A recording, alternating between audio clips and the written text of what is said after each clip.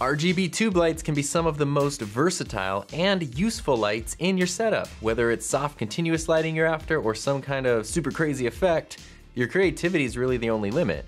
But with so many different options at different price points and with different levels of quality, it can be overwhelming to decide which ones to choose. So today, I wanna help you find out why you might want to HAVO the Pavo tubes. Pavo tubes, ha they're good lights, you might want them. And before we dive in and talk about these awesome lights, just a quick disclaimer, I have six of them, and I only paid for two of them, and it's not because I'm a criminal. Really the whole point of this video is for me to explain why it took me so long to decide to just spend the money on the full-size 30C Pavo tubes when I had spent a lot of time trying to make do with other options, cheaper options, and just lower quality options to be totally honest with you. I saved up for a while and I bought two of these because it came in a kit of two. That was pretty expensive for me. It was about like 800 bucks. It was a lot of money. But as soon as I bought those, I was like, why didn't I just buy these sooner? I even did a video review on the Pavo Tube 6Cs, the little ones. And I really love these. These are, you know, 11 inch, 12 inch tube lights. These are wonderful. I'm really glad that I have them, but I originally bought these thinking like, oh, I don't need the full-size one. I could just buy these and it'll be just as good. And these are wonderful, but they're nowhere near as bright or versatile as these giant ones here. And so that was $200. I tried to deal with all these RGB floodlights and eventually I bought my two Pavo tubes and I absolutely loved them and wish I had done it sooner.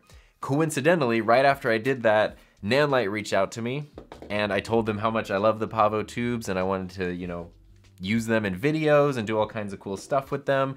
And they said, hey, we'll send you some more. So they sent me four more. So now I have six altogether, which is insane. And if you check out my lighting setup tour video, I go over exactly how I use them. And Heather even has one that she uses in her studio. So they're really, really helpful. Six of them would be a massive investment. So I'm not recommending that you go out and just drop that huge chunk of money.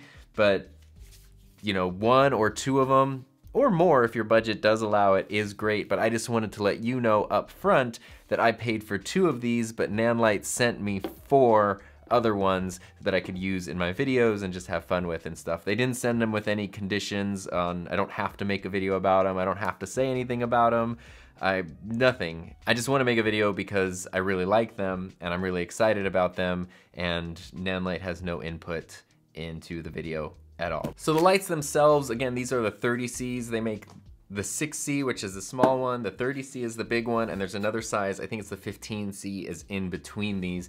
But I really love these because the larger ones I have found to be just incredibly versatile. And if you're looking for quality of light, having a bigger light just sort of makes it helpful to disperse. Let's see if I turn off my key light right now, and I put this up here as my key light.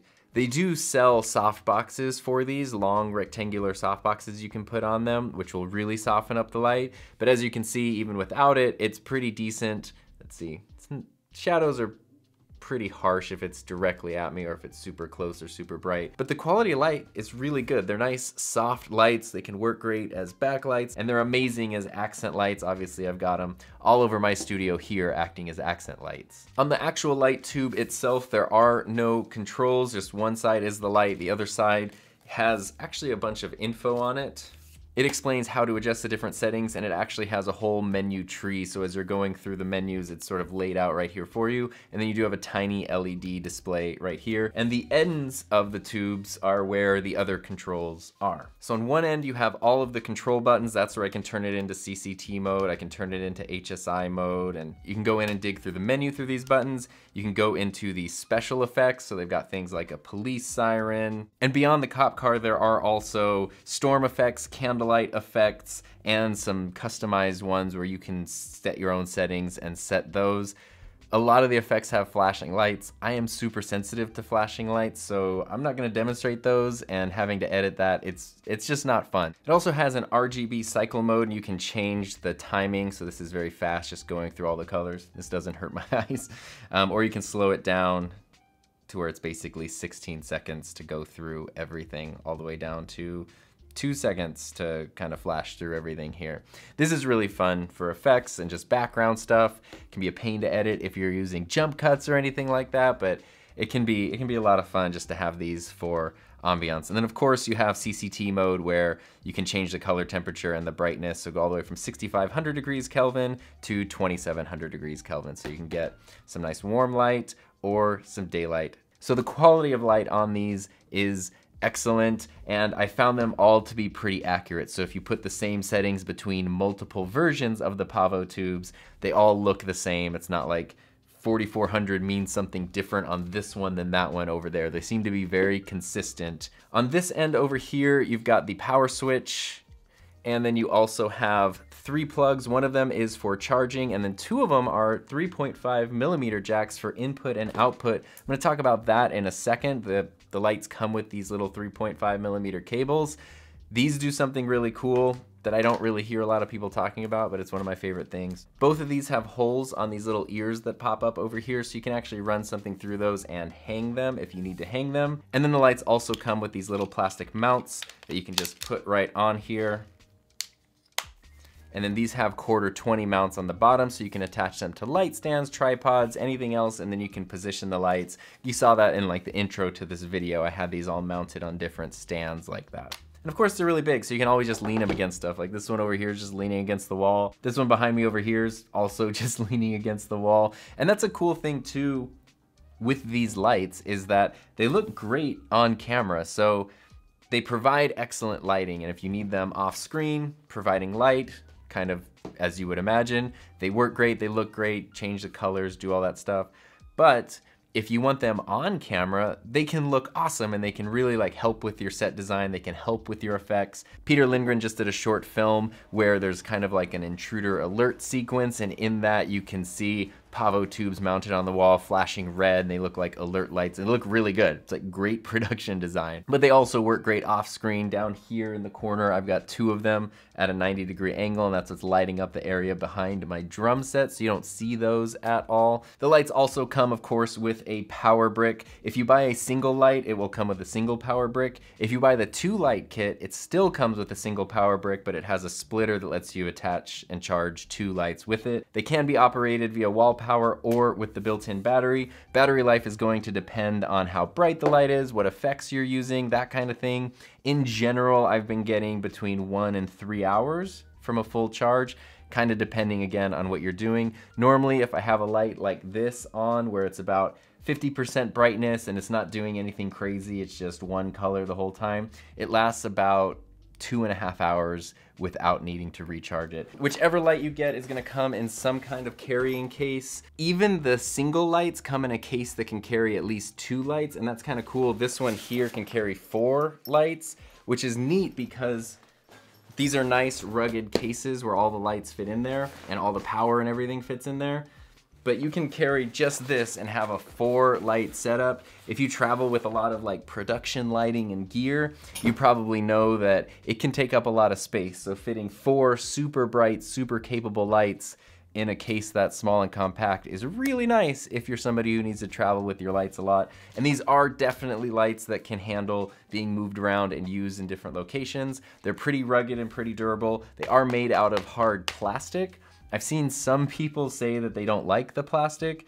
I have found it to be super durable. It can definitely scratch, but other than looking bad, the scratch isn't going to hurt anything. And I really don't know what else you would make it out of because these can't be made out of glass. That would be super dangerous and it needs to be a transparent material that's not going to degrade the light quality. So this seems like the best possible option. So they're very well built overall. The only area where I don't like the build quality is with these buttons here. You can probably hear it. They're, they're a little plasticky and clicky and they're fine. I've literally not had a problem with it, but it seems like if something was gonna break and get damaged, it would probably be here before anywhere else on the light. And like I mentioned just a second ago, if you buy more than one light, they'll come with this little cable right here. And this does something really cool that I just haven't heard a lot of people talking about, and I think it's super neat. So on the end of the light is an input and an output. I'm gonna plug the input here to the output of this light. And once the lights are connected, you can dig into the menu and go to an option to combine controls and then you can decide which light is the transmitter and which one is the receiver. They use more antiquated terms for those roles that I'm not going to use in this video, uh, but I'll set this one as the receiver and we'll set this one here as the transmitter. And now they're synced together so this light here in my right hand if I change the brightness with the light in my left hand, you see it changes the brightness with the light in my right. If I change the settings, say I go into the RGB cycle over here, now it's going into the RGB cycle over here and they're actually synced up doing the same colors at the same time. So it's a super easy way if you have multiple lights in a situation and you don't wanna have to go from light to light and try to adjust these little dials and get everything matching perfectly, you can just sync them up super easily, super quickly, and they will all match. And the way that that works is this light is just on by itself, so it's doing its own thing right now. But as soon as I turn on the transmitter light, then it will kick in and take control over this light. Now there are other lights that let you do things like that via apps.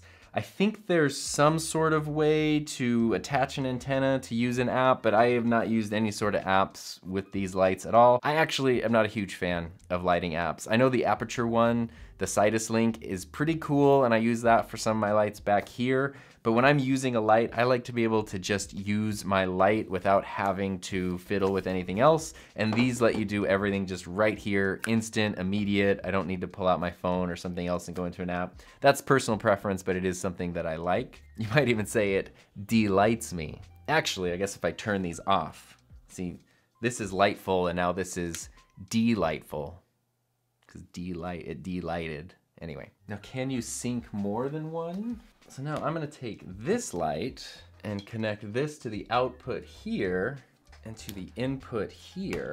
And so if I turn this one on, nothing happens. If I turn this one on, yes, you can. You can sync multiple lights, so you can just chain them all together. And obviously if you're using a longer cable, then the lights don't have to be right next to each other. That's cool because as I mentioned, these lights look great on screen. You see them a lot in music videos and stuff like that. So there's a lot of scenarios where you might want them to be synced up and matching. They're also fun environmental lights. I use them in here a lot of times when I'm not filming and when I was teaching all my high school classes online and making videos and stuff, these lights would be left on at about half brightness five to seven hours a day, five or six days a week, and I never had any single issues. I've had them for about four months now. So in my experience, they've been super reliable and super durable. Now it's not all perfect. Let's talk about a few things that I don't like. As you might have already seen just a couple times in this video, I am constantly forgetting which end of the light has which controls. So one end has the inputs and the power button, and the other end has the screen, the buttons, and the dials. I don't know what the solution would be, but maybe if there was some sort of pop of color on one end, it would help me know which end is the right end. But this end here, which is the main one, the control end, there's a couple things about it that are funky, mainly with these knobs right here. They feel really good, like they're, they're nice, high quality knobs, but there's no tactile feedback. There's no clickiness, there's no way to lock them or anything like that. So you get your settings dialed in and it's very easy to accidentally bump these or turn the wrong knob because one of them will let you go through the different settings and the other will let you adjust that. It'd be nice if there was just an easy way, maybe through like a push button or something to lock these once you have them where you want them. And it would be cool if these were tactilely like different like one is circle and one is square or something. So that way as you're looking at the menu, I'm co constantly doing exactly what I just did actually, needing to look at the end and then moving the light and hitting it on things, trying to see which knob is which. It'd be cool if I could do that more easily without having to look at them. It's not a big deal, but it's one of those things where it's like, just a little bit of friction every time you're trying to use it. And, you know, the more you can eliminate that stuff, the better. The other biggest advantage to these lights is that they are dedicated video lights. And I've talked about this before. If you're using a lighting setup that's kind of makeshift and you're not using dedicated video lights, but it's working for you, then it's great. Like if it works, it works. You don't need to spend money on anything else. For me, I was trying to get by with a lot of lights that were not made specifically for video, and I was ending up with bad colors, I was ending up with flickering, and I was just ending up with frustration. So when you're dealing with dedicated video lights, you don't have any of those problems, and RGB tube lights, as you can see, are just incredibly versatile, and I love them a lot. There are other options besides just the Pavo tubes for RGB tube lights. I haven't tried all of them, and if you have a less expensive option and it's working great for you, then it's perfect. However, what I can say is speaking from my own experience, as soon as I invested in the Pavo tubes, it was such a relief. It was scary to spend the money because, you know, it's they're expensive lights. But once I got them, everything was just so easy. Everything looked better. I just wish I had done it sooner instead of like torturing myself for like a year and a half trying to find these makeshift solutions that just didn't really work. So whatever you choose to light your path, if you're gonna invest money in a video light, please make sure that it is a dedicated video light just to save yourself the frustration and the headaches down the line. If these are a little too big or a little too expensive for you, I do have my review video all about the PavoTube 6Cs, which as you will see in that video, are sick lights. Bro, check out that video.